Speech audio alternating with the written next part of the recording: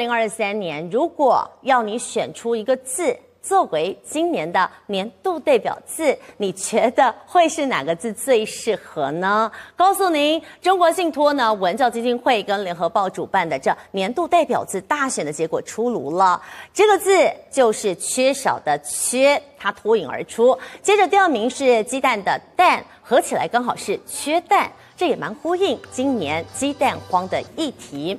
过去呢，在防疫期间，我们缺疫苗、缺快筛、缺抗病毒药物，又缺口罩。